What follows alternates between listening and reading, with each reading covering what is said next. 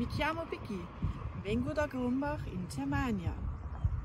Mi chiamo Andreas, äh, vengo di Grumbach in Germania.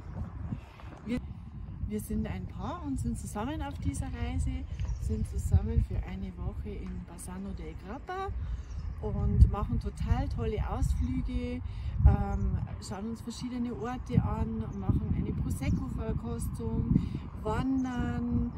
Und wenn man sich auf diese Reise vorbereitet, so wie ich, dann sollte man zumindest ein bisschen versuchen, vorher schon ein bisschen Italienisch zu lernen.